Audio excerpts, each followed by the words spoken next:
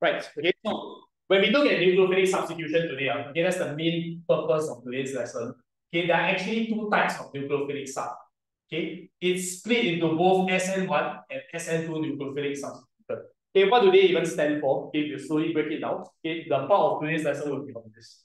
Okay, so first of all, uh, we're going to be touching on SN2 nucleosub. Okay, and there are five different properties as you can see at the bottom of that page. I'm not going to go over the properties in order. I'm just going to list down whatever that is important that comes to mind. Okay, first of all, uh, guys, when you see the word SN2, I just need you guys to be very clear what the 2 stands for. Any guesses? Okay, some of you guys, again, may have a few guesses like two steps or whatnot, but I really need you guys to write this down first. The 2 in SN2 refers uh, to having two reactants in the slow step. So there's going to be some kinetics involved lah, because I mentioned slow step, right? Okay, some kinetics. Okay, and SN2, the 2, uh, please do not get confused with what the 2 represents. It could represent a whole load of stuff, uh, okay, but this is the most important one. Okay? Okay, but on the other hand, uh, guys, okay, the next thing we're going to look at is the rate equation. Okay, since we are on the topic of slow step.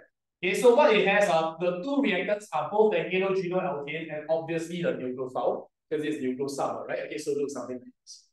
Next, this is actually a one-step reaction. Later on, we will explain why, okay, but for now, you just need to know as like opposites. SN2 is just a one-step reaction. Okay, so do not remember it by the number of steps. Uh, that's the most important part. Okay, so I've covered like which points, yeah, I can't even keep track anymore. Okay, the next thing I need you to know uh, is this. SN2 nucleosub uh, is favored by primary halogenoalkanes. So I remember saying at the previous lesson, uh, if you cannot identify primary, secondary, and tertiary, you might have a little bit of trouble identifying which kind of nucleosub it favors. Okay, so just put it first. I put the word favor uh, because, uh, guys, it is possible for other types to undergo SN2, but generally it's preferred by primary. And so far. Okay, and the next thing that we're going to do is to draw the mechanism. You see, I'm not going to go over all five yet. Later we'll come back to that. So can you turn over to page 21? The box over there, ignore the box at the bottom. That one's like kind of incomplete. What I need you guys to do now is to follow my nucleosub process. Here again, what's the first thing you write when you draw a mechanism? Name. Okay, write down the name first. Okay, don't write nucleosub. Uh, that one will be wrong. Okay, I need you to write the full thing. SN2 nucleophilic substituted. If you fail to identify which type of nucleosub, unfortunately, they will penalize you for the name. Okay, so you must be very clear. Usually the question will give you clues as to which SN it undergoes, SN1 or 2. Okay? Now, what's going to happen here? I need you all to follow me very closely. SN2 has a lot of details you need to follow closely. Uh. Okay, the first thing you need to do is to draw this. Okay, uh, first of all, I always forget to warn you. Okay, leave a little bit of space first on the left side. Okay, and then draw what I'm going to draw first. Okay, so leave a bit of space, then draw the bonds looking like this, exactly how it is shown up. So you can see uh, this one is horizontal and then everything else is like leaning towards the left hand side. There's a reason why you have to draw it in this configuration. And you guys can also notice that I am drawing the stereochemical formula because I'm going to be discussing the stereochemistry a bit later. Okay. Next, uh, fill in the groups. Okay, the one that's on the horizontal plane here, uh, let's put in a halogen. Okay, and then the rest uh, are your alkyl groups. As I mentioned, uh, it's favored by primary, so I'm only going to draw in one alkyl group. Doesn't matter where you draw it, you're just going to draw one only. The rest are pages. Now, just to clear up a bit of misconception, some of you guys tell me that, oh, okay, first of all, uh, is this carbon chiral? Is it a chiral carbon? Does it have four different groups? Clearly not, lah. but it doesn't matter. Chiral carbon, right? Okay, yes, some of you all say that must draw the stereochemical formula, but it doesn't have to be chiral for you to draw stereochemical. It doesn't matter. As long as it's tetrahedral. Remember, a tetrahedral by itself, right, is already a triple shape. Doesn't matter whether it's chiral or not. Okay? Now, why I ask you all to leave a bit of space is because uh, the nucleophile must attack from behind. Later I'll discuss that. It's part of the whole process. So draw OH minus. Remember, lone pair must be shown. Negative charge must be shown on oxygen. Okay, and guys, the nucleophile attack who again? Uh? Who does it attack? C. Okay, the C in the middle. Because why? How do you know that? Partial positive. This partial negative. Okay, so arrows from the lone pair. I want you all to come from behind. Uh. Okay, you cannot attack from the front. It's just unfortunately part of the whole process. Okay, so you attack from behind like this. Then what happens? There's one more arrow to go. How many bonds does the carbon in the middle have right now? Okay, uh, including the new arrow, uh, it will be five bonds, right? How on earth are you going to form five bonds? You must maintain as four. So one of them needs to break. Who? Who breaks? Who are you trying to substitute out of the way anyway? You're substituting the BR, right? So guys, this bond break already. The electrons just go towards yeah. Okay, so two arrows over here. Don't forget the second one. That's what a lot of people right? So those are the arrows for the first step. Okay, a bit no space, uh, so let me just draw downwards. Okay, so the what I need you all to do next is to put here slow step. Why slow step? Is because we already said uh, there are two items in the uh, in the rate equation. The halogenoalkane and the nucleophile must be present. So now that both of these guys are present, uh, we put this as the slow step. Make sense? Next. Just follow what I'm going to draw now. Okay, this is what we call uh, the transition state. Some of you guys may be looking at this and go, what the hell is this, right? Okay. Let's look at what I'm going to draw first. Okay, I'll give you guys an example. But basically what's happening in this transition state uh, is this O will not really form a bond with carbon yet, and it doesn't really break the bond with Br yet. So how it looks like is like this. It has not formed the bond with carbon, but it also hasn't formed, it hasn't broken the bond with Br. So kind of like in the middle, 不三不四, that kind of process. You can think of it this way. Uh. Imagine this is a girl, and then the girl is very unhappy with the boyfriend. The boyfriend is not giving her enough attention. So she wants to break up with the boyfriend. But before she breaks up, right, what would she do? She wouldn't just break up first, right? Okay, most, most girls, okay, what they would do is to go and find another guy first. Okay, in the meantime, uh, while finding another guy, right, then she will still consider whether to break up this guy or not. Okay, but once find a better guy already, right, ah, then she'll break up. But usually this process isn't that simple. There will always be this Busan Busu stage, right, where they haven't really gotten together yet, but they also haven't really broken up yet. That is the process in this case. Okay, so just in real life, uh, okay, this transition state is kind of like reflecting this process. Okay, just be, a, be, be very careful as to what I'm going to draw here. Ah. Do you all see this? The solid bond is on the right, the dash bond is on the left. Now you all need to swap the order. The solid bond must be on the left, the dash bond must be on the right. Now the group still remain the same. I don't go and change it. There's a reason for this. Ah, I'm not asking you all to do all this for fun. Ah, okay, later on, right? Okay, everything will make sense. But this is the transition state, and guys, does this transition state have a charge? Can you tell me? Yes. Overall, transition state here, does it have a charge? And if so, what is the charge? Any again. Oh, nice. Is it good? Oh, nice. So, you know, uh, I'll, I'll a bit. Yeah. Yes. Okay, so guys, uh, go and look at the balancing of the equations. Huh? Before that, right, there's an overall negative charge. You can see that because of the nucleophile, negative nucleophile. So over here, when they are together that time, right, you still must have the negative charge as well. Do not forget that. Okay. And then afterwards, okay, the transition state is clearly not the final product yet. So I'm going to draw the fast step now. Ah, but some of you guys uh, will probably see something slow step and fast step, isn't that a two-step process? But I already said here one, it's a one-step reaction. How come got slow and fast? Okay, it's because uh, guys, you're going to treat it as this. Uh. It's the first time you're going to see a transition state. A transition state is a theoretical structure that doesn't actually exist. Okay, perhaps you can take it down now. Okay, it's a purely theoretical structure, a hypothetical structure that doesn't actually exist in real life. So you cannot actually produce this thing like and synthesize it. No, it is a purely hypothetical structure. So guys, and because of that, right, you still need to draw it, but you can treat it as one smooth step. Okay, it's one smooth step. Okay? Pay attention to how I'm going to draw the final product.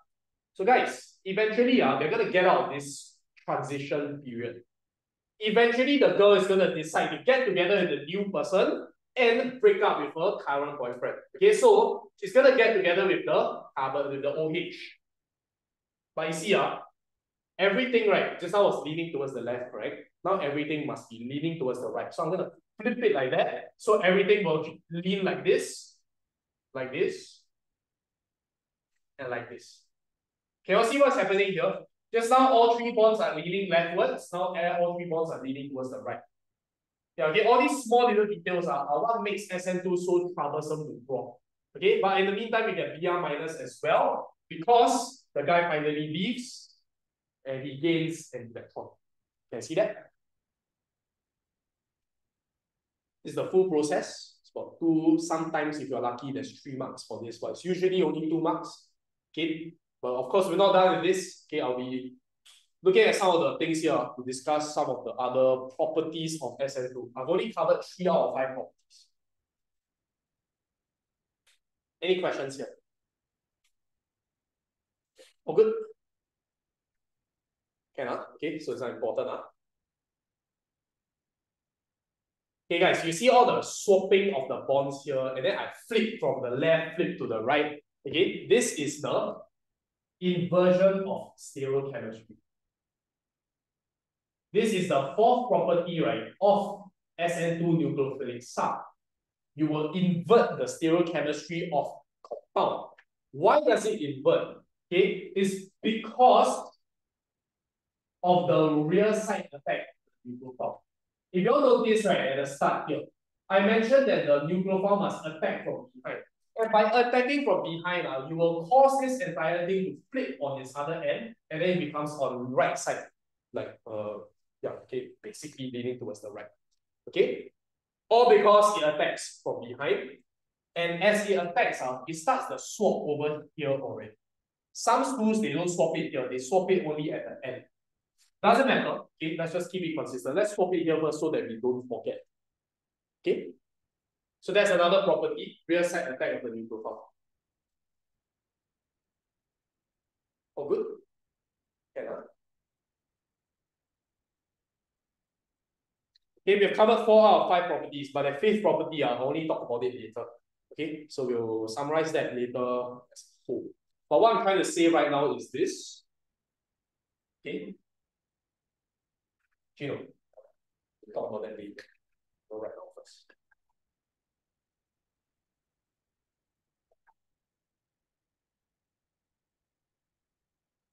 Any questions so far? No? Okay. Huh? Some other small little things we need to go through first. Okay. But some of you guys may be asking, uh, how come it attacks from the back? Okay. This is just a property that it exhibits, but at the same time, uh, you cannot attack from the front uh, because there's this whole or this this whole atom blocking it. Remember, uh, a halogen atom, whether chlorine or bromine, is way larger in size than carbons and hydrogens. Agree? You go check the periodic table, right? The data booklet. This guy is way bigger, uh, and because of that, it cannot attack from the front. There's a lot of congestion. Okay, it is blocking the nucleophile's path, so it chooses to come from the back instead. That's kind of like the idea. You're not asked to explain that, but just for your own information. Okay, guys, let's move on to page 22. Okay, page 22, uh, there's a small little diagram here called the energy profile diagram. Just a bit of a kinetic recap. You all know what the energy profile diagram is. You all remember the shape of it. Okay, can you remember the shape? Does it look like that? Or does it look like that? First or second? What is an energy profile diagram? Any idea what this is? Okay, the answer is the second one. Uh. The first one is your Boltzmann diagram. Remember that? Okay, Boltzmann distribution. Okay, so this one a lot of people get confused. Uh. They see your I see your blur, your completely forgot. Okay, so make sure axis. Okay, energy axis is on the y-axis. Okay, what's the what uh, x-axis? Okay, for energy profile diagram, this is the progress of the reaction. So reaction progress. Okay. Now guys, how do you draw the energy profile diagram? You see the hump, right? How many humps do I draw for this case? The humps are determined by the number of steps, right? How many steps do I have? One. So I draw one hump. Guys, the next thing is uh, uh, assume that this is an exothermic reaction uh, for good reason. Uh. Okay? Can you remember the enthalpy change of a reaction? Bonds broken minus bonds formed or bonds formed minus bonds broken? Which one? Okay, good. Broken minus formed. Okay, please think of this. We're gonna like make a smart guess, right, as to why most of these nucleosub reactions are exothermic in nature. We take a look first. Can you tell me what bond is broken in this procedure? Okay, what bond is broken here? Okay, the CX bond, right? Generally the halogen bond versus what's the bond that's formed here? C. Oh, good. Okay, and no matter what halogen you use, uh, which one has a stronger bond? Okay, so go and check your data booklet for the bond energy. CO bond is way stronger than any halogen bond. And because this is stronger, uh, your delta H is positive or negative. This is stronger than this. Negative, uh, right? Okay, so most of the time, uh, guys, the question will not say whether it's exo or endo for a nucleosub procedure. Can make a smart guess. It is probably going to be exothermic because exothermic makes the compound more stable. By having less energy, you're more stable. Right? Now, can you just tell me what are the things I need to fill in in this diagram?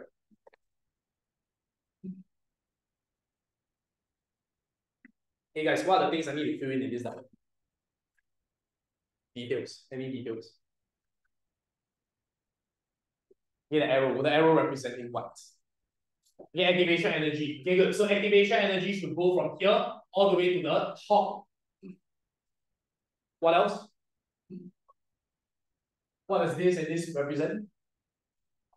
Okay, the enthalpy change now is going downwards. Okay, so you just tell me enthalpy change is less than zero. Okay, but what do you have to write over here and here? What do these two levels represent?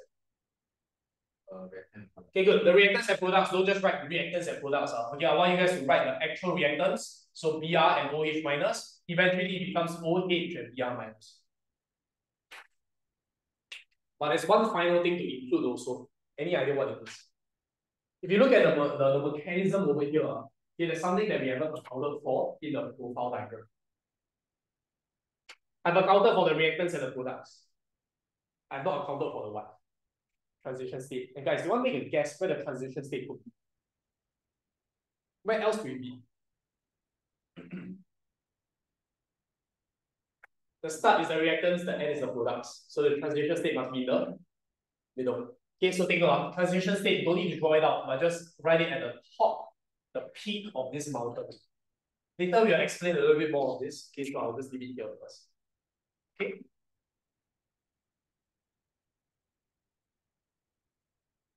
So don't forget the transition state. Okay, that's part and parcel of the whole process. Any questions so far? Go on. Now the box at the bottom of the page, right? We're gonna ignore this because later, right, we're gonna summarize this in a more concise manner. Okay. But if you were to ask yourself, uh, why SN2 are favored by primary halogenoalkanes, we'll eventually answer that with that thing at the box You know, Later we'll Okay, but now just finish popping first. Okay, if not, we will once you're done, okay, we will move on to SN1 nucleosub.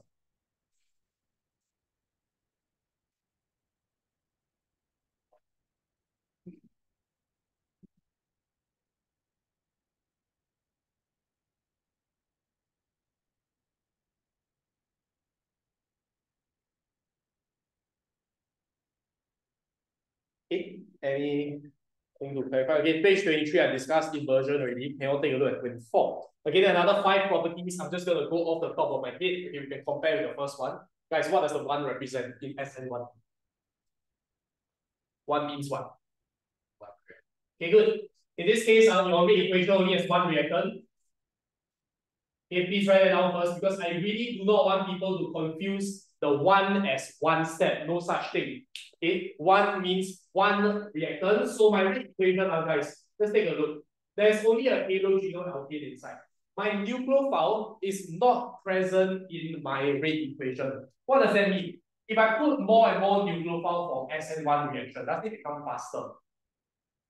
No, it doesn't because it just doesn't affect, right? So guys, note of this. Uh, okay, the nucleophile does not affect the rate uh, for SN1.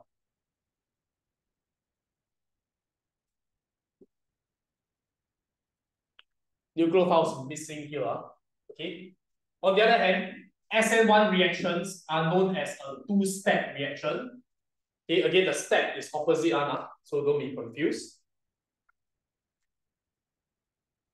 And compared to SN2, SN2 is favored by primary, SN1 is favored by tertiary halogenoalkanes. You may be asking, how about secondary? Secondary will undergo a mixture of both SN1 and SN2. That one we wouldn't know until the question gives you uh, enough clues. Lah. So SN2, uh, uh, secondary is kind of like in the middle. Okay? And so far? Okay, so I'm going to touch on these three first. Okay, then we're going to look at the next one. Okay, can I turn over to the next page? We are going to start the mechanism. Thankfully, uh, guys, the SN1 mechanism is much easier, not as cancerous as just now. Okay, so first of all, I need you to write down the title. And we're going to split this into two separate steps, as what we have just mentioned. Okay, tertiary halogenoalkane. So I just need you to draw this tertiary halogenoalkane here.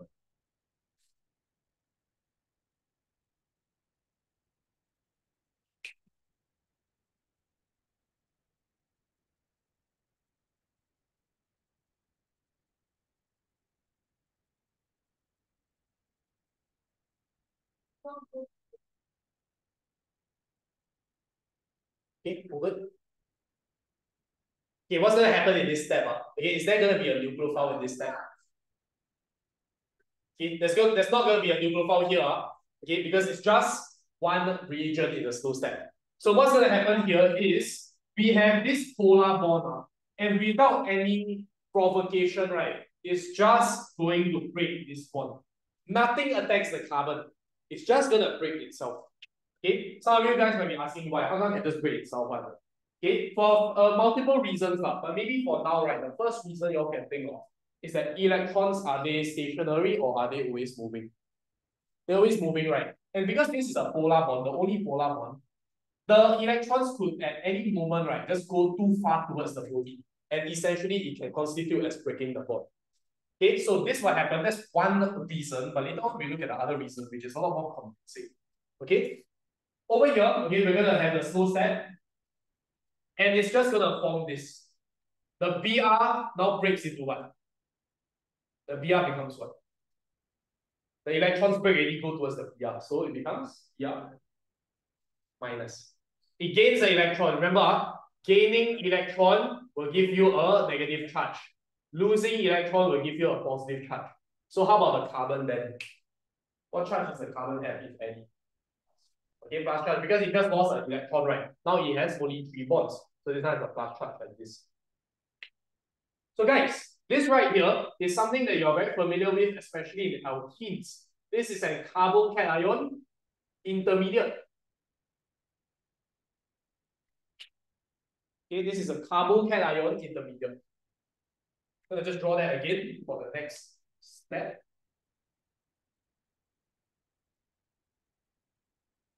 Guys, just now uh, in SN2, we form a transition state.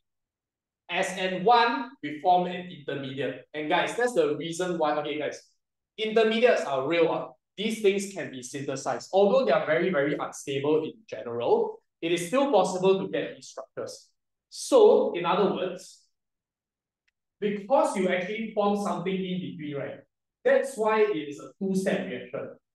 So it's two-step because it's an intermediate. But just now, SN2 is considered one step because you form the transition state. And transition states are not actually real, so they, you, you don't split it up into two steps. Okay, so that's the idea here. That's the reason why it's step like this. Okay. Now, for SN2, uh, you can see I don't even need to draw stereochemical formula. Okay, but the next thing we're going to do here is just to take our nucleophile, so OH minus, and then we're going to just affect the carbon straight up. Now be very careful, uh, guys. I want to see a few things. Number one, lone pair must be shown on oxygen. Number two, I want to see the arrow pointing towards the carbon and not towards the positive charge. Please do not point to the positive charge. Huh? Why? Are you forming bonds with the carbon or are you forming bonds with a positive charge? I'm sure, I'm sure you can answer that question yourself. Right, okay? So over here, fast step, then you will get the final product. As you can see, uh, this one very straightforward. Probably because there's no flipping involved, there's no stereochemical formula involved. So it's a lot easier. Okay, split it into two steps, and that's the SN1 procedure.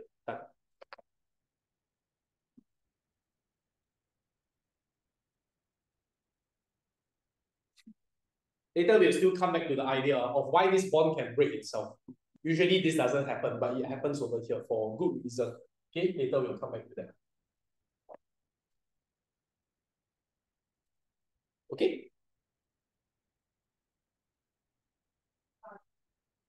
Okay, so for no questions, okay, again, let's look at page 26. 26 uh, the profile diagram is somehow printed for you already. Okay, not to worry about it. Okay, I mean, just draw two humps because there are two steps. But guys, one question here, uh, where is the intermediate located in? Just describe its location.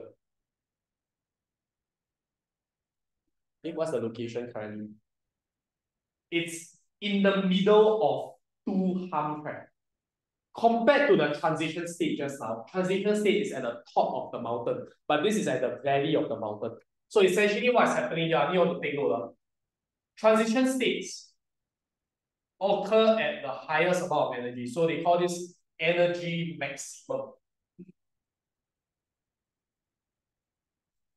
Intermediates, on the other hand, they occur at energy minimum.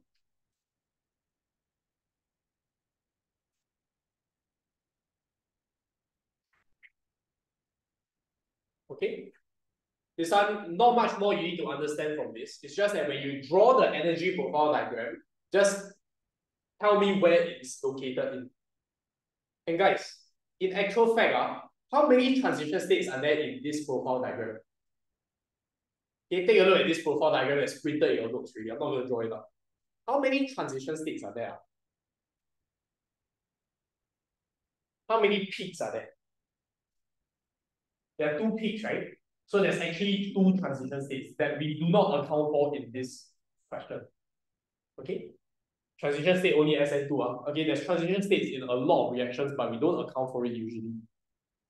Okay, two peaks, two transition states. One valley, so only one intermediate, as you can see over here.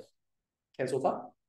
Again, the bottom of page 26 is not supposed to be filled up, but never mind, later we'll still go through it separately. Okay?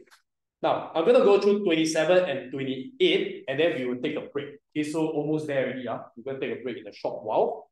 Okay, now, as I mentioned just now, SN2, okay, you have three or uh, three properties. I also mentioned uh, when it comes to the stereochemistry, it's inverted. So how about the stereochemistry for SN1? What happens to it? Is it inverted? Clearly not. La. I never talked about it for SN1. But in fact, uh, it has something to do with the intermediate, and it has something to do uh, with this particular carbon. So what I want you all to do, uh, on page 27, draw whatever I'm going to draw on the board in that box. Okay? Now, you might want to make a note for yourself. This box here will not be examinable. Whatever you are going to draw now, whatever I'm going to draw with you guys, do not will not be tested in the exam. Thankfully, lah, because if it's tested, then you need to draw more shit. Okay, all you need to do, uh, guys, is the explanation at the top of the page, which will uh, which I will go through with you guys later. Don't even I'll highlight uh, later. I'll ask you guys to highlight the correct terms. But essentially, uh, okay, let's draw this structure here.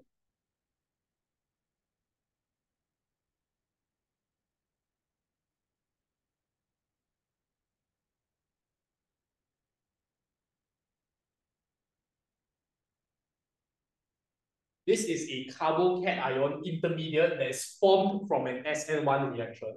But why I purposely draw three different groups uh, is to show a little bit of chirality. Chiral carbons, okay, you see in a bit. Now, can you visualize this compound? Okay, this is a carbocation that's flat, uh, it's not facing like this. It's flat. Because this bond is facing outwards, this bond is facing inwards, can see that? So it's kind of like, like this, where from your perspective, it's like flat like that. Why is it purposely? Why do I show you flat like that? It's because, uh, guys, what will affect the carbon? Uh, what will affect carbon?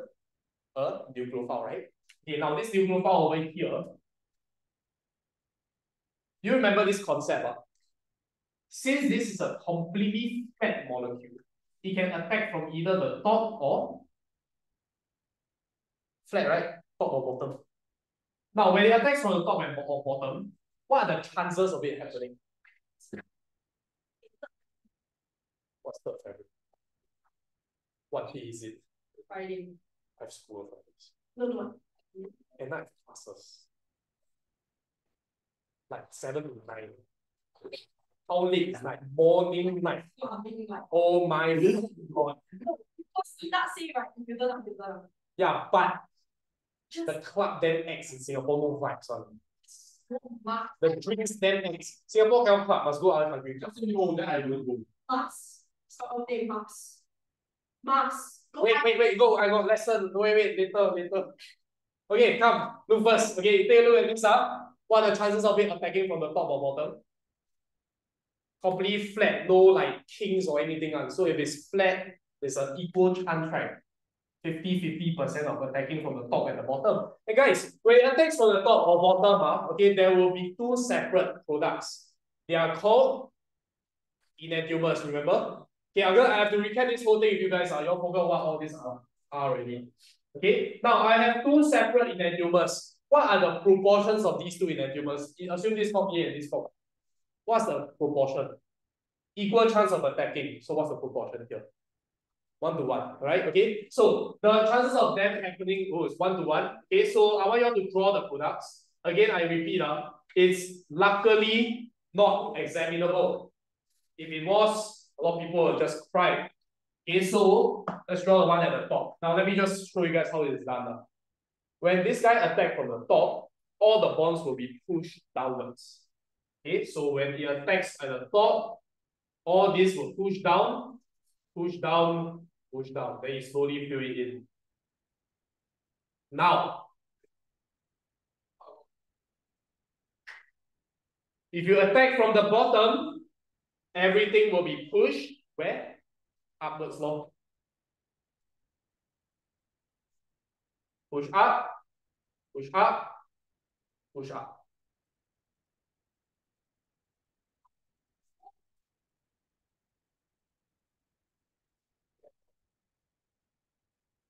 Now guys, are these carbons chiral? Yes, right? Okay.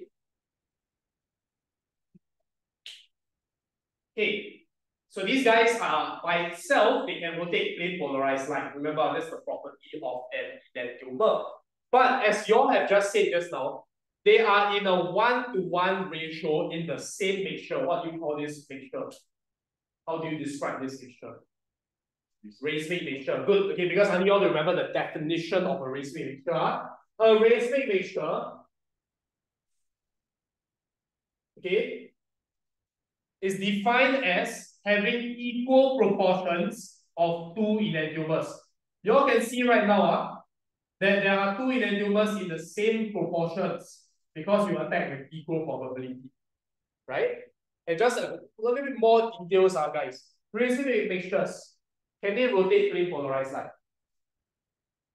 What's the relationship between two enantiomers? This guy, uh, for example, if he rotates plane polarized light by positive 15 degrees, this one will rotate by how much? The other guy. Negative 15, good. The idea is that they rotate by the same extent, but opposite directions. Okay, so if you have two enantiomers, since they rotate plane polarized light by the same extent, but opposite directions.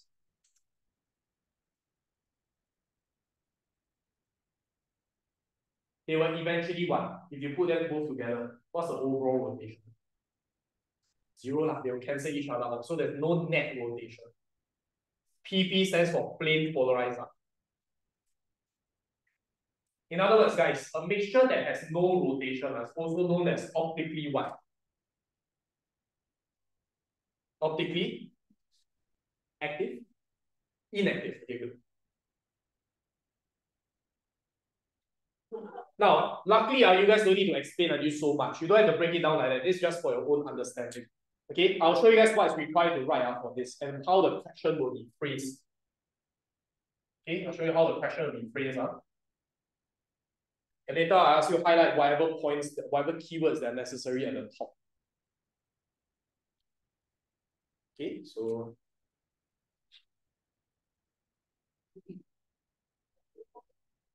I want to copy this question also.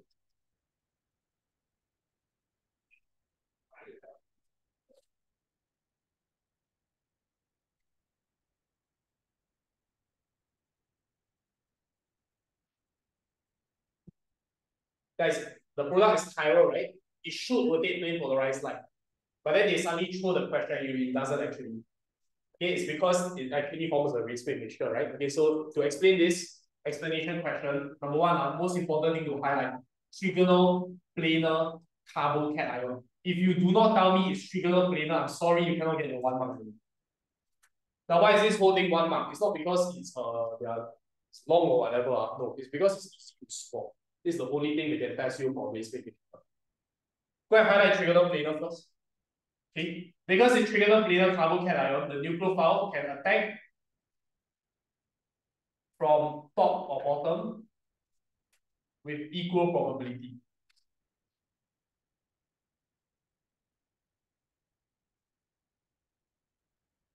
And because of that, you form a racemic mixture. That's it. These are the three words. You don't have to break down what racemic mixture is. Keywords, huh? This for one mark. If you're lucky, they can give you two marks. It's the same exact explanation.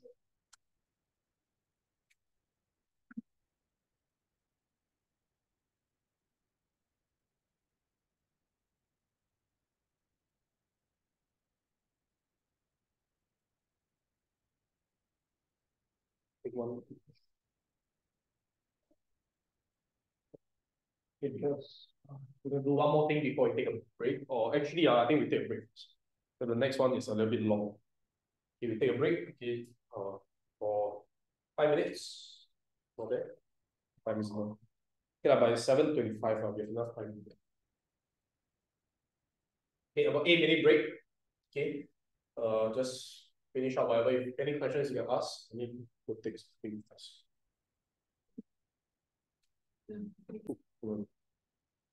Okay, draw your SN2 nucleosub for this compound involving ammonia nucleophile.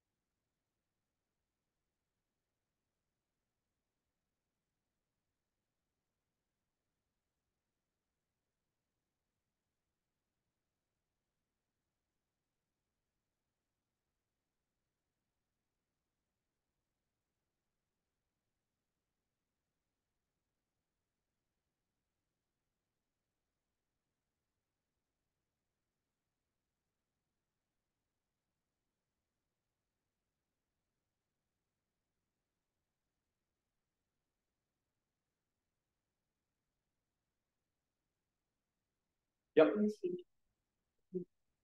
No, we are using NH3 now. Yeah, because there's the peak over there.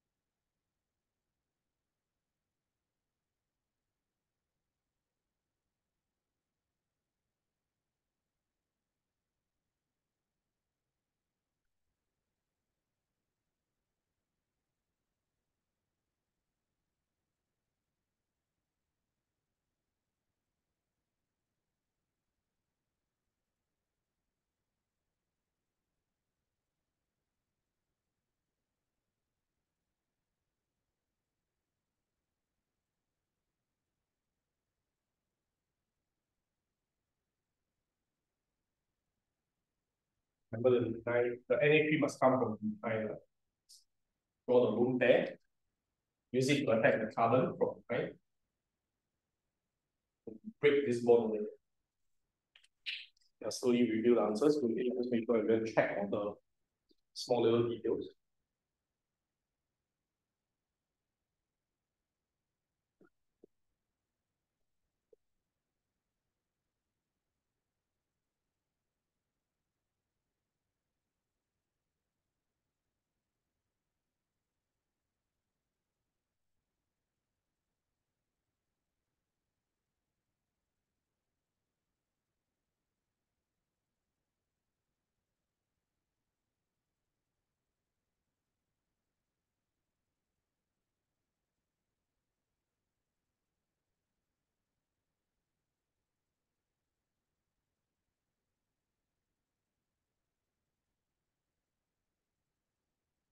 I'll now draw the transition state. You remember your slow step? After your slow step, transition state should look something like this. NH3 haven't really formed a bond with carbon, and carbon hasn't really broken the bond with yeah. Swap the solid and dash bonds. Okay, swap already, yeah? Now, you can label this transition state if you want. The most common mistake is that you guys put a negative charge here. There should be no charge here. Why? Okay, overall this step is a neutral step, can see that? Because we're using a neutral neutral So here uh, should still be neutral also. Don't put a negative charge just for the sake of it. As for the earlier example, okay, OH minus has a minus charge, that's why as it joins together, right, it's gonna give the negative charge to the overall species. Right here, no. Okay, that. Yeah. Okay, so must be able to adapt, okay, depending on the nucleophile. Okay, then of course, in here,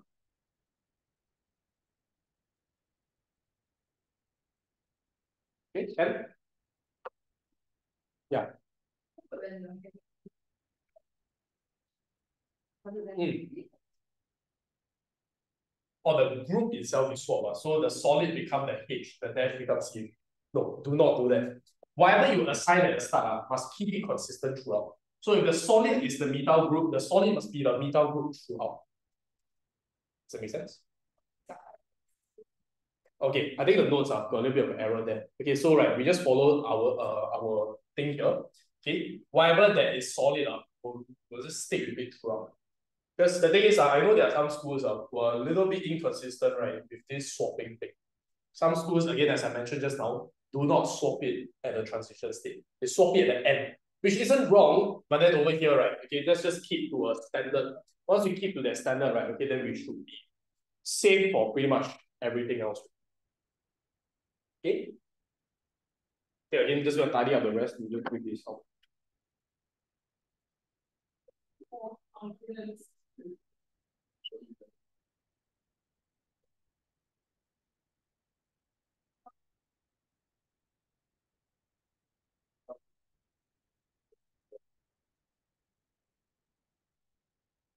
this out. Malawan then.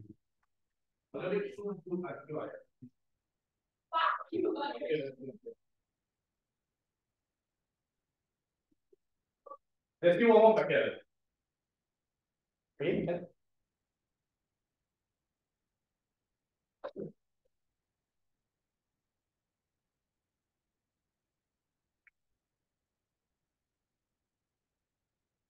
You can enable the fast step next. Okay, what's going to happen here is this. Uh. Now it's going to form the bond with ammonia. And then it's going to have the bonds leaning towards the right. And you're going to get Br minus. Did everyone get this?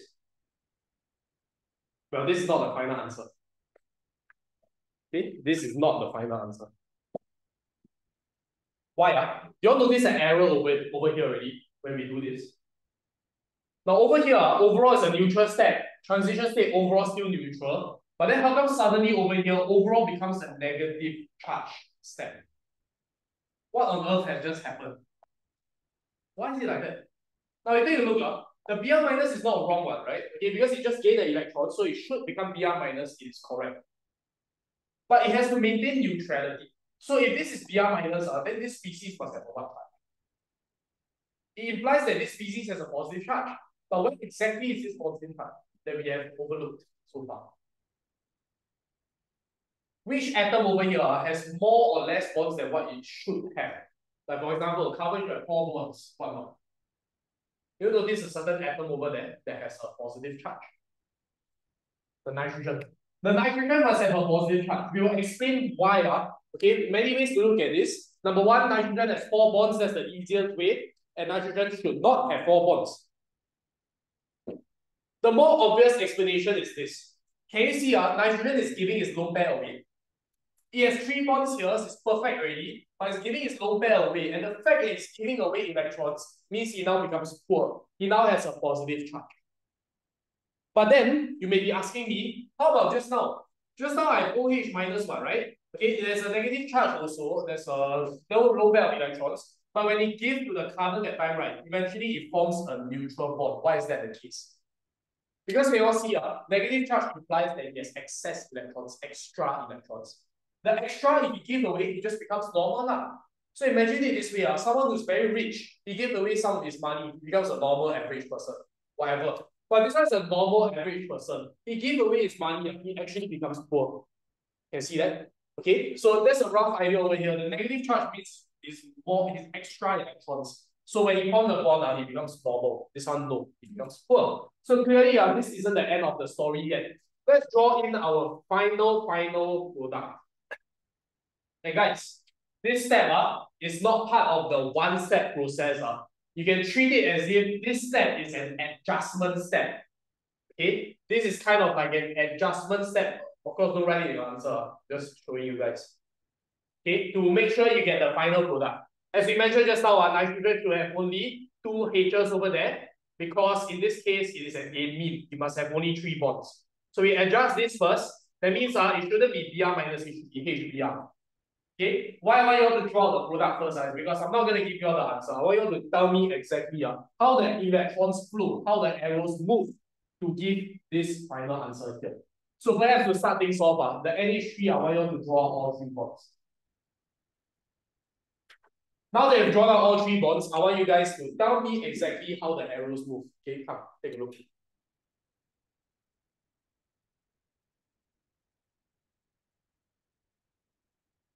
Any ideas here? Any suggestions? How are? Okay, guys, you might see these kind of scenarios out like pretty much every exam. Okay, where you may not be very familiar with what you're doing, but yet you still need to come up with a way to get the answer. Now, one way of making your life easier here, right, is to always look at the final product. Because by looking at the final product, you know exactly right how the what, what ends up happening. You take a look at the Br minus. Eventually, it becomes HBr. So what do you think the Br minus does? It attacks the N. Is that the case? Okay, some of you will say Br minus affects the N because bridge attacks the poor. Okay, I get that. However, are you directly attacking the N? Does N bond to Br at the end of the day? No, N doesn't bond to Br. H is bonded to Br. So what should you attack? Should attack H. So give me a lone pair first. I want to see the lone pair, and then this lone pair has to attack this H. So guys, you cannot just stick to the idea of oh reach attack poor, reach attack poor. Okay, so you take your reach and attack. No, you must always look at what happens next. And this is the skill that must be developed. Okay, you will definitely see these kind of things in exam one. Okay, I've seen it too many times. People just attack reach poor without actually looking at what happens next. Okay, now yes, you attack this, you can, you can HBr. But what's next? You can see uh, this is NH3, it has to become NH2. So one of these H's has to break off, right? But break already, then how? Okay, obviously it's this H that breaks up because I attack this guy. Okay? The electrons here just sitting here. The bond doesn't exist anymore, ma. it's broken. Then where do the electrons go towards? Exactly.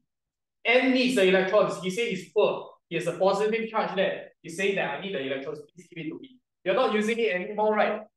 Okay, so just give it back. Lah. The H is gone already. This one is useless. Useless, then just give it back to the N. So now the N becomes neutral once again. So this is the adjustment step uh, that I wanted to go through with you guys over here. Okay, so this is an application already. And so far. Okay. Right. Okay, we have one more little segment to go through. And we're going to use it on this uh, blank piece of paper again, but I want to flip it over or find some space. Okay, there's one more thing we still haven't gone through uh, for both SN2 and SN1 functions. Why do SN2 uh, be, why is SN2 favored by primary and why is SN1 favored by tertiary? Okay, you must know how to explain that. So let's read this whole board. Uh. I want you guys to come kind of draw this table over here. Okay. So this segment, I'm going to call it uh, the preference towards SN2 and SN1. You make sure the table is big enough, you can write some explanation inside. Uh. So I have SN2, I have SN1. Okay. And I have primary halogenoalkanes tertiary halogenoalkanes. Let's split the table as such.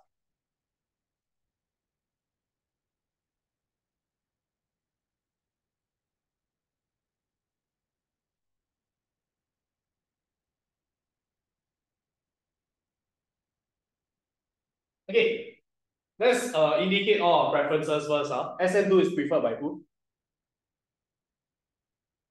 Primary, okay, so put a tick there. Primary is preferred but it's not preferred by tertiary. On the other hand, SN1 is preferred by tertiary and hated by primary. Okay, so job is to explain why. Uh.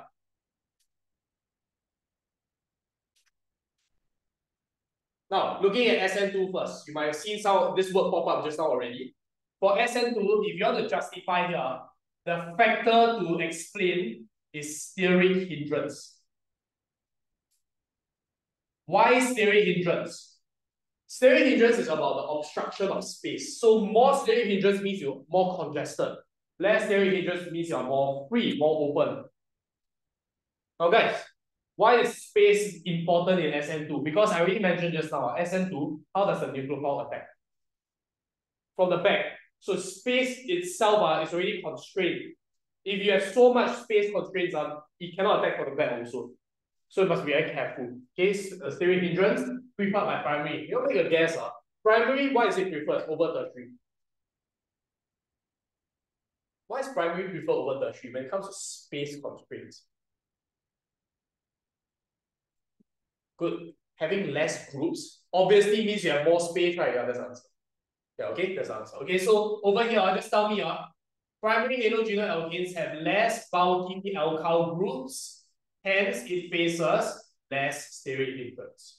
It's as simple as it can be, and that's why it favors SN2 reactions. Go and write the opposite one also. Huh? More bulky, okay, I describe alkyl groups as bulky over here.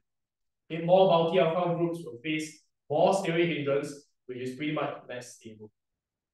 Okay, that's why it doesn't favor SN2.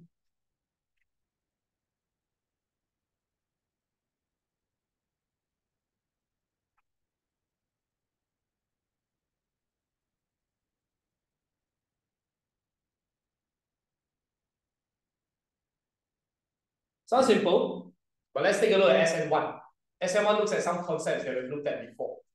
The factor for SN1 uh, that you want to explain is okay, stability of the carbocation intermediate. How stable the carbocation is uh, will determine whether you undergo SN1 or not.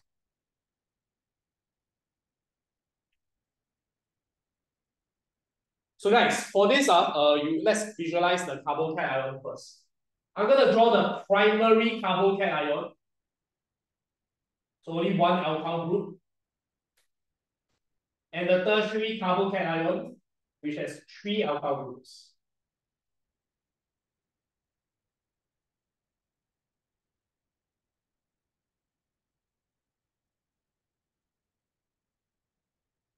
Okay, And then after this segment, if let's say you need to go, you you can go. Is the last part. Okay. Okay. Look at the carbocation ions, uh, guys. We are supposed to determine who is more stable. Do you remember, okay, alkyl groups, what effect does it have? Good. Okay, alkyl groups are electron donating. Imagine this. Uh, imagine you are this carbon in the middle. You are very poor, you have no money. Do you want one person to donate money to you? Or do you want three people to donate money to you? Which one do you think you prefer? Of course, three people want more money the better. As a poor person, you want more people to give you money, right? So obviously tertiary carbocation has to be more stable. How do you explain that? Okay, let's look at some keywords first. Yeah, look at this. Huh? Having more, don't describe as bulky, huh? must describe as electron donating alkyl groups. Having more electron donating alkyl groups means the positive charge, huh, guys, become bigger or smaller? Smaller. Good. Okay, think about it. Huh? The plus charge is big because you're poor. But if more people satisfy your financial needs, you don't, you're not as poor. So the, the plus charge has to shrink. But the word for shrink is to disperse. Okay, remember. You disperse the positive charge to a greater extent. And since it's more dispersed, you feel less poor, that means uh, the tertiary carbocation ion has to be more stable.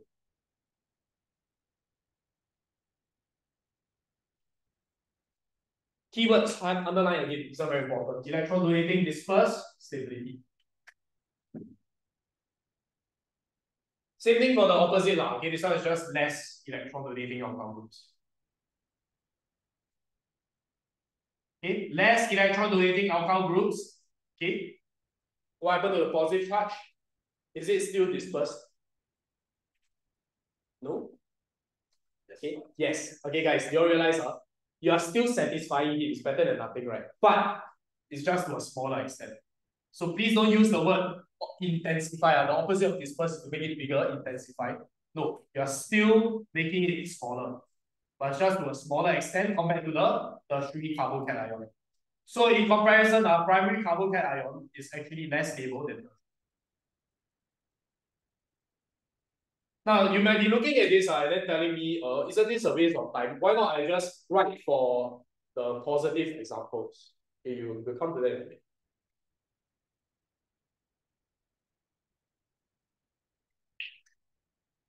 Now I'm going to write down an example of how a question in the exam will ask this. And I want you guys to write it down first. Okay?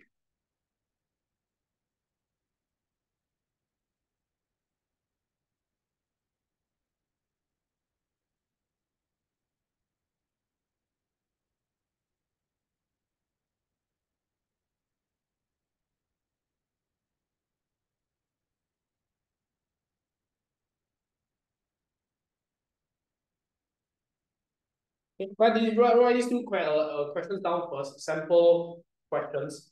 We're going to see our approach to answering them. We have four different approaches, uh, not, not say approaches, but four different answers that we can use uh, depending on what they're asking for. As you're writing, or maybe perhaps you can just tell me which quadrant you will look at to answer this question. Okay?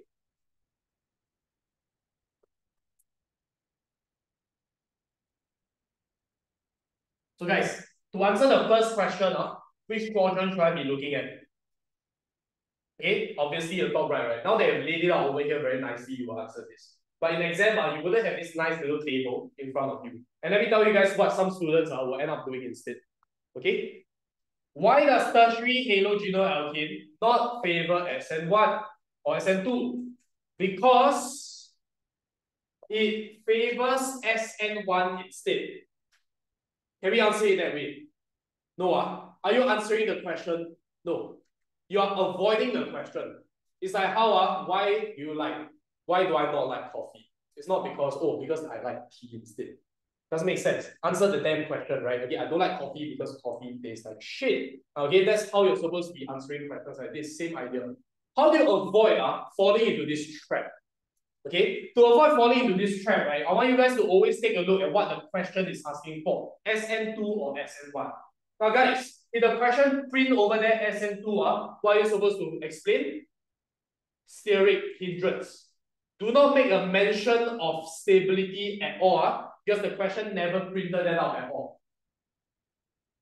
On the other hand, look at the second question. Uh, why does primary not favor SN1? Oh, don't tell me, oh, it's because it prefers SN2 instead. No, it's because you must see SN1 and tell me, oh, it's probably because okay, regarding stability, uh, it's just not stable. That's why. So you must know exactly how to answer this question without having without drifting away from the topic. Okay. Why does tertiary RX not favor SN2? SN2 is for steric hindrance. Oh, it's because it has a lot of bulky groups. That's why it cannot undergo SN2. Over here, SN1. Why does it not favor SN1? Okay, because it's not stable. The carbon cation not stable. There's know exactly what realm you're discussing. Okay? So take this down also.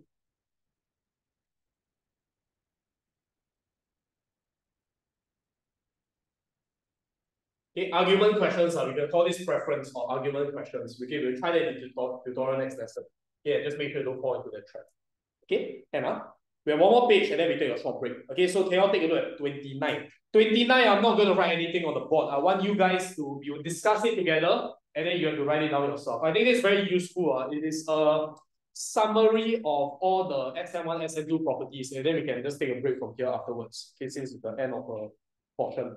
Okay, guys, uh, look at the first one. Rate equation. SN1, what's the rate equation like? Go and write it down. SN2, what is it? Go write that down also. Okay, SN1 versus SN2. Okay,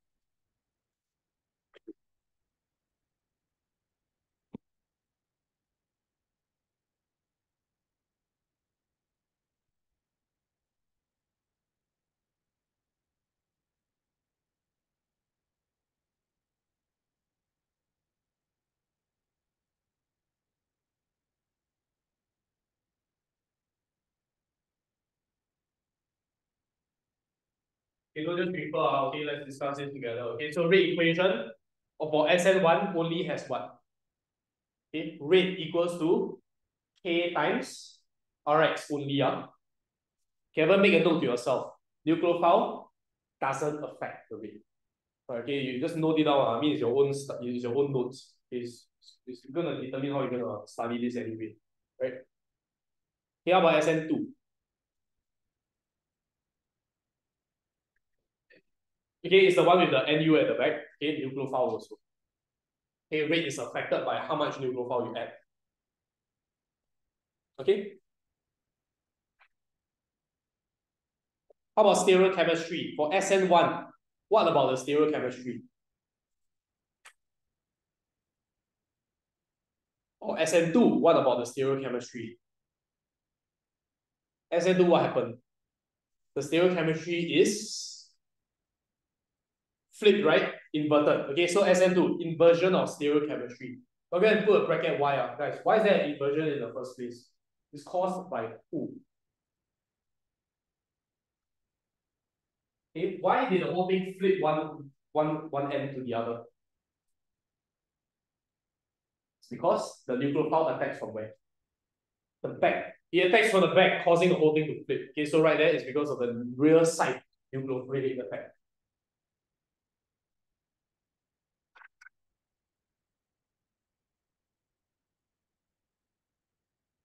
Okay, on the other hand, SN1, uh, what's so special about the, the stereochemistry? You form a what? Mixture. Yeah, okay, you form a racemic mixture. So for stereochemistry, SN1, racemic mixture form. Now, why is there a racemic mixture in the first place? Because what's the shape of the carbocation? Trigonal planar, good. Okay, so just right there, trigonal planar carbocation. And at least at least you know why, lah, right? This is a small little summary table. So when you look at it tomorrow again, uh, uh, then you at least know what to start off your answer with. Right? Number of steps. Okay. So number of steps, SN2, how many steps? SN2 it has one step. Remember, I was just opposite. Okay, good. One step. Can you remember why is one step? It's because we form a what in the in, in between transition state, which doesn't actually exist, so it's just considered as one smooth step. Okay? Let's put bracket transition state. Okay, then uh, for SN1, I'm sure you all know what that is. Okay, how many steps and tell me why do you form that number of steps? What do you form instead? Right?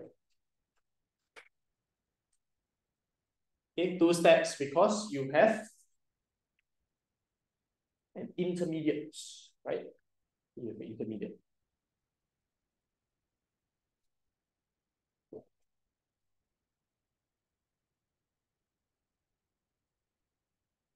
Okay, last one. SN1 favored by Okay, tertiary halogenoalkanes, good. Why? Because tertiary halogenoalkanes form the more mm, yeah, okay, or then in other words, more stable carbocation. Okay, it's all written here already. SN2 favored by primary because it has the least steric hindrance. Can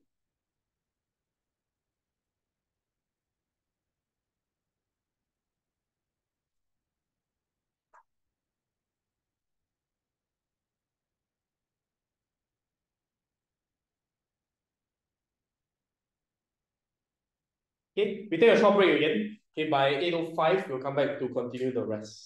Okay. Rest is just small little stuff and then we'll be done with the topic.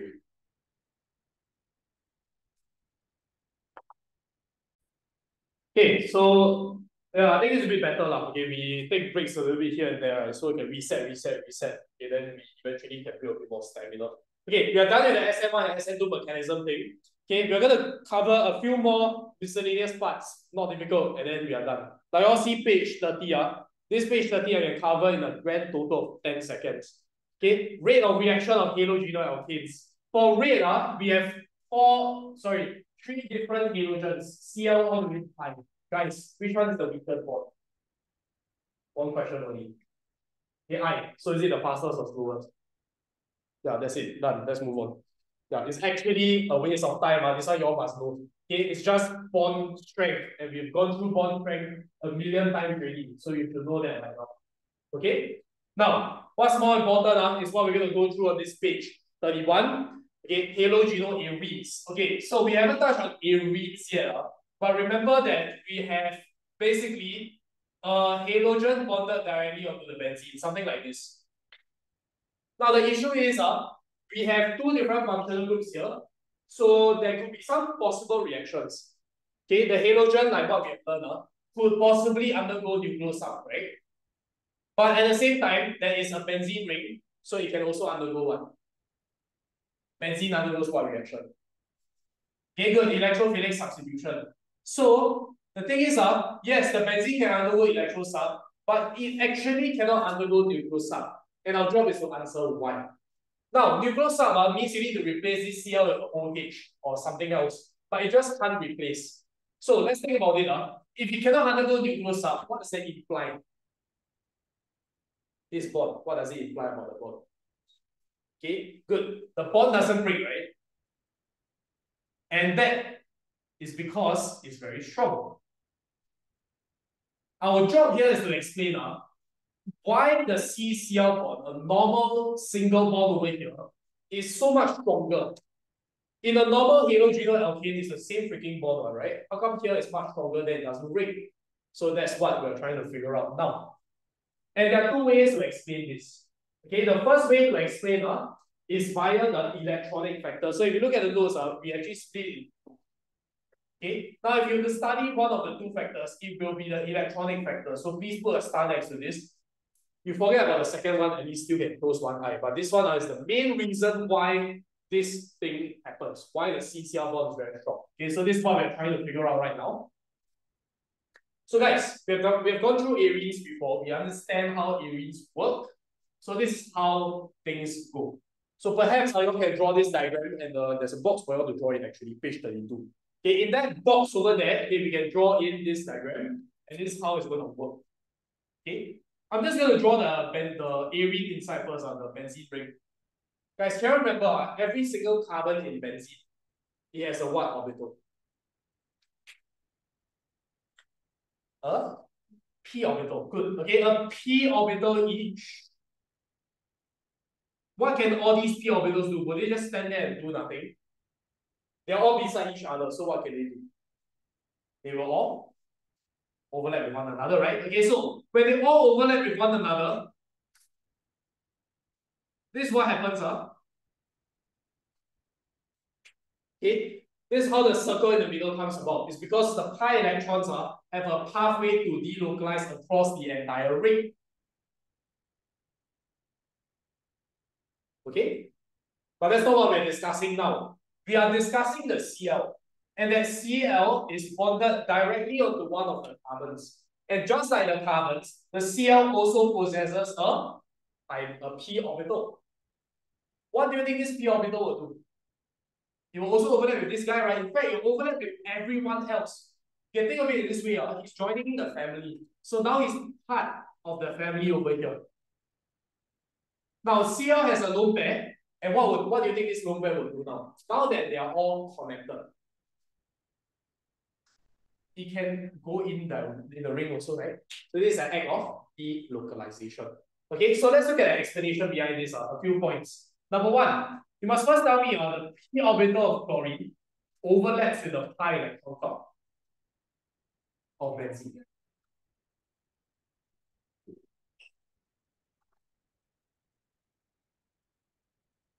Okay.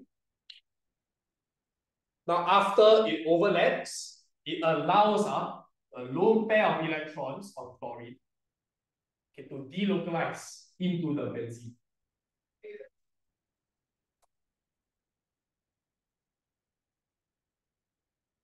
Okay, so remember, delocalization is always require it requires overlapping p orbitals first. p orbital overlap with the pi electron cloud.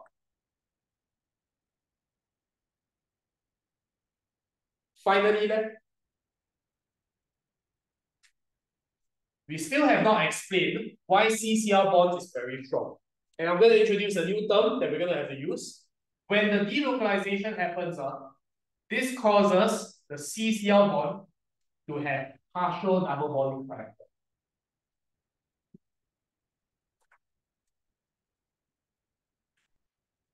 What the hell is this? the most important forward phrase in this question. Okay, what does this mean? Hey guys, is this CCl bond a single or a double bond? It's obviously single, right? Single bonds generally quite weak. But guys, when you look at a double bond, uh, people as I draw this, a single bond is just made out of one sigma bond. A double bond is made out of both a sigma and an additional pi bond. How do you form the pi bond? How do you form that second bond over here? Pi bonds are formed by what kind of overlaps? Sideway overlap of the p orbitals, right? You all notice uh, as I'm drawing this diagram over here, there is a sideway overlap of two p orbitals. Now, in actual fact, uh, it is a single bond, yes. But it has certain characteristics of a double bond. Can you all see? Because there is a sideway overlap of two p orbitals. In other words, uh, guys, double bond is it stronger or weaker than a single bond? Obviously stronger, right? So you can think of it this way.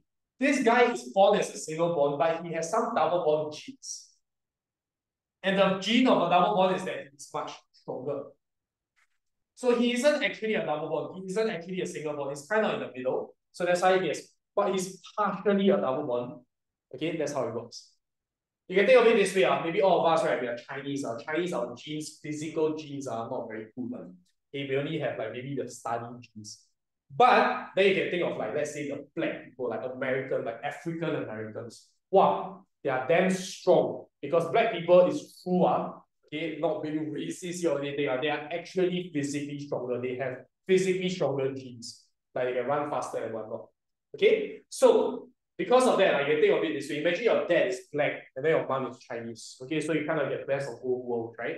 You are literally you're like built stronger. So it's kind of like the same guy over here. Okay, fundamentally he's a single bond, but he has the strength of a double bond.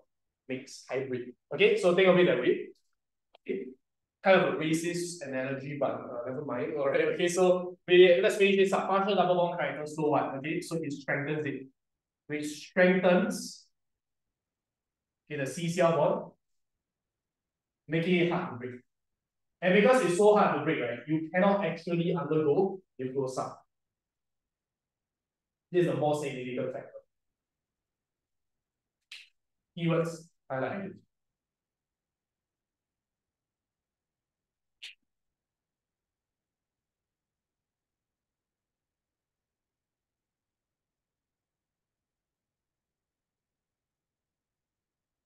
Okay, so we have answered that question. We're going to look at the steric factor, not as important, okay, but let's just very quickly go and draw in a diagram to kind of show it, look at it also. Okay, steric just means something about space constraints, obstruction, whatnot. Okay, and how it works is this. Uh, remember, how does the nucleophile approach uh, the halogenoalkane? Nucleophile usually approaches from the back, right? From the rear. Now guys, the back of this CCl bond, uh, you, you are faced with this humongous benzene ring. You see it's blocking the way? Okay, and not only that, uh, if let's say a nucleophile is negatively charged, it tries to approach uh, from the back. What do you think will happen here? Nucleophile is rich of course. Rich.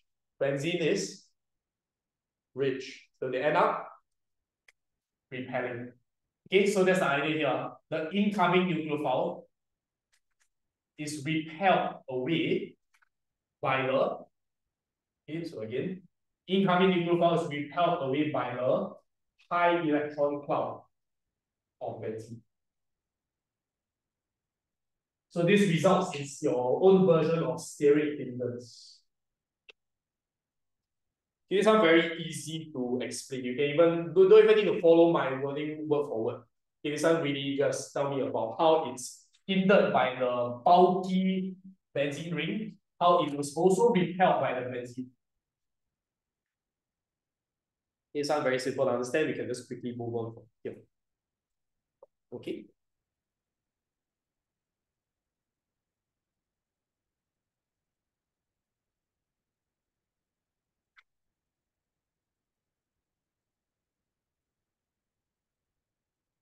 Very nice.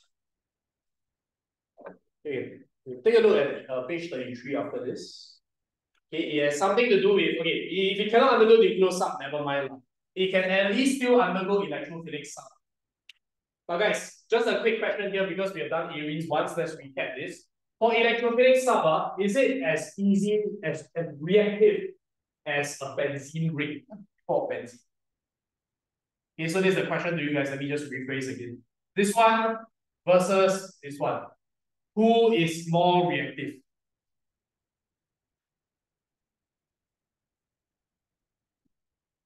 Okay. This is where you need to refer to the data booklet because uh, in arenes uh, we have learned that substituents can either be donating or withdrawing. They will tell you this in the data booklet and it is seen over here. If you look at data booklet, they tell you that this is deactivating. Deactivating means what? Donating or withdrawing? Deactivating means withdrawing. Good. So imagine this. Uh, this guy is like trying to leech off the benzene. He's trying to steal electrons from benzene. So does the benzene become richer or poorer? Poorer. Okay, let's do that first. Uh. So our explanation is as such. First, you tell me, okay, that the Cl group is electron withdrawing. Hence, it will make the benzene, okay, the benzene ring okay, in the halogenoarene is less electron rich. So remember, we need to say less electron rich and we cannot make a mention of the word poor because is benzene ever poor to begin with? No, you must choose your words wisely, must be rich, okay, because benzene is fundamentally rich. So don't use the word poor. And because it's less electron rich, guys, do you think it's more reactive or less reactive? It will be more or less reactive. Okay, of course, with less electrons in the benzene, you're going to be react slower, right? Okay, but you cannot just say less reactive. Okay, it's actually uh, it's now less susceptible to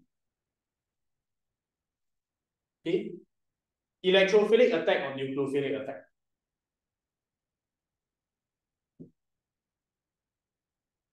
Okay, fill in the blank here. Electrophilic because it undergoes electro sub, it's trying to attack electrophiles.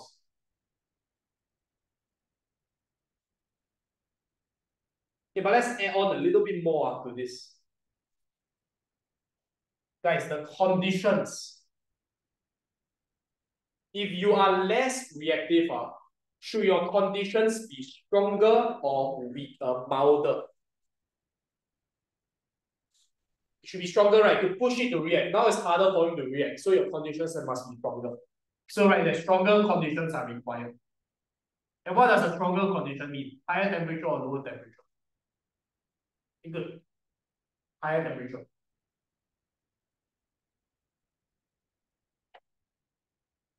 Can see that? So let's say you are asked to talk about the temperature, ah, okay, you must add in this last point also.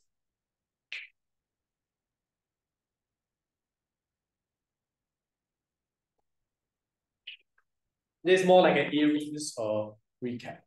Okay. One final segment and we are done for today. Okay, but end off early.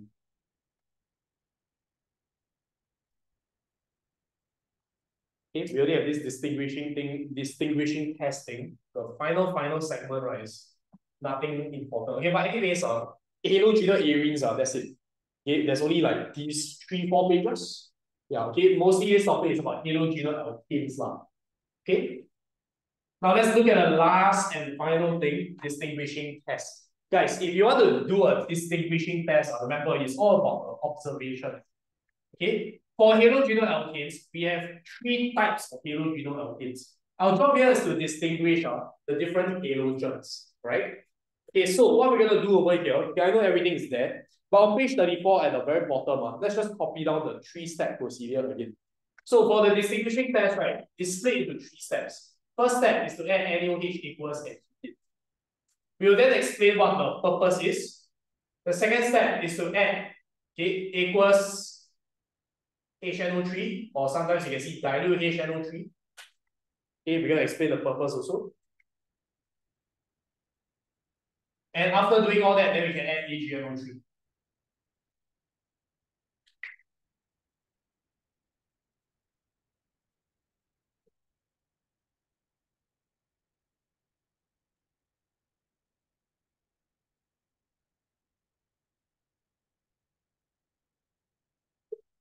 Guys, what do you think NaOH equals and uh, it's trying to do? There's one reaction and condition that we have learned in this topic. What reaction is this? What's the reaction called in the first place? Any idea? NaOH and heat. The OH minus is a nucleophile. So when it come into contact with all the halogens, it will undergo nucleosub. So this first step uh, is a nucleosub reaction. Why? Because if you take a look at the reaction, uh, a halogen with OH minus will give you the alcohol and X minus. Any idea what the purpose of getting this reaction is?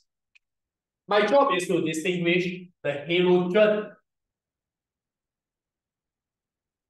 So can you see the nucleosub reaction helps to get the halogen out of the compound it helps to break the bond from the halogen. So in other words, uh, it liberates the X minus, the halide ion. Because if it's bonded, can you do anything to it? Can you perform any reaction? No lah. Right, okay, so we need to break it first. Then we can perform reactions on the halogen itself. And we can actually skip to the third step. Right? Okay, so if you take a look, uh, the AgNO, the AgNO3 is to react what?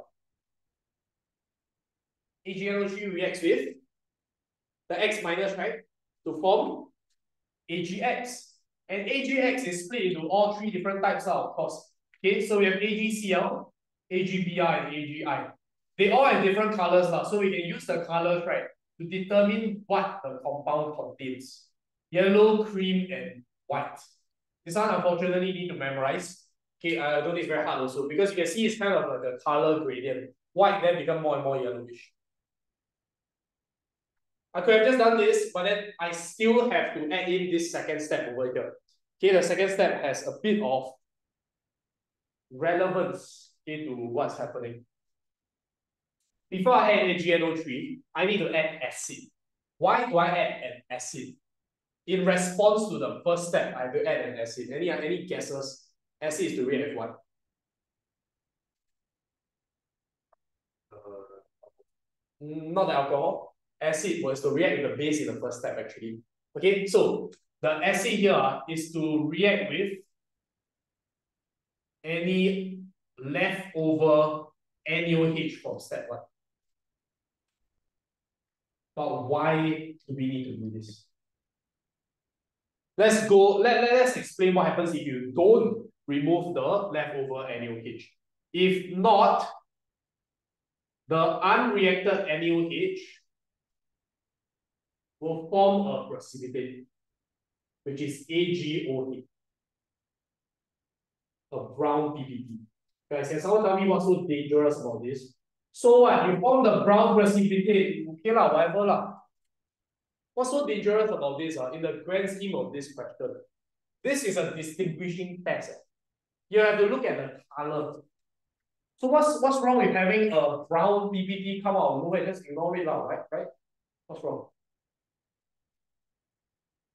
Guys, you see, uh, you expect to see white, cream, or yellow. The moment you see a color, you would tell yourself, oh, there's a halogen in the compound. Agree?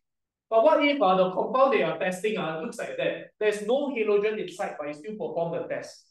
And yet, uh, you still see a brown precipitate. What will you tell yourself then? You would tell yourself, oh, there's a halogen inside. Agree? But is there actually a halogen inside? No. So this brown PPT is kind of like screwing up your observations. Okay, so how do we put that into very nice words? This second step is to avoid a false positive test. A very, very useful word.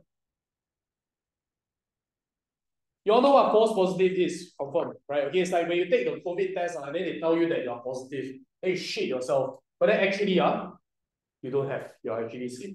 Okay, so it's the same idea over here. You think there is a, okay, the moment you see a color, then you think, oh shit, I have a halogen inside, but actually you don't. So you don't want this problem. Okay? Any questions? So when you were to write your answer in the exam, uh, you have to write step one, step two, step three. Okay, all, all this don't need to for your own understanding. Can? Can, huh? Okay, and with that said, okay, on the next page, uh, page 35, there is a alternative way of doing this. If you don't want to write three steps for me, right? Okay, can, never mind. You tell me ethanolic AgNO3 also can. Okay, ethanolic AgNO3, then you heat it all in the water bath. Okay, now this one, right, you will see the colors again, lah, but they also include the time it takes for the colors to appear. Guys, out of the three guys, out of the three compounds here, who is the fastest? Remember the red thing that I went through in like 15 seconds just now? Okay, I. Because why? CI bond is the weakest. The weakest means easier to break, the faster to break. So the fastest you are going to form your yellow PPT. That's why it says that immediately. But AgCl, the strongest bond, takes forever to break, 5 to 8 minutes. Okay? Can, huh? Okay, with that said, uh, we're pretty much done with the set of those already. 36 uh, talks about like in real life, uh, halogenoalkanes. Maybe I talk about it, uh, talk, uh, just mention something first. Guys, you all know what chlorofluorocarbons are? CFC, you have heard of this, right? What did they say all this? How come everyone know this? Because what? What's so notorious about this guy?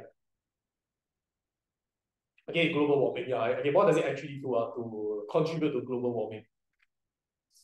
Uh, it's not really a greenhouse effect. Lah. Okay, but chlorofluorocarbon, you all just learned this topic, right? Can you all see? Uh, it's just a halogenoalkane. Halogens, carbon. Okay, so all these guys are, okay, they'll actually deplete the ozone layer, but you all know how.